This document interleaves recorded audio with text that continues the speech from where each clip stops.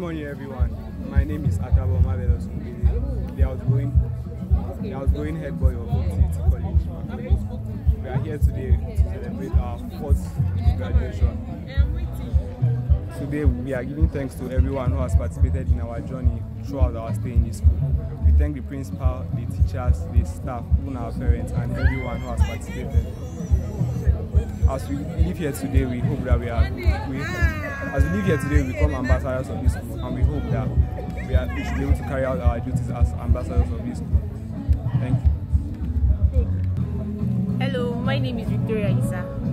Angbiando. I am I am I am the outgoing house. Uh, so please let's start it.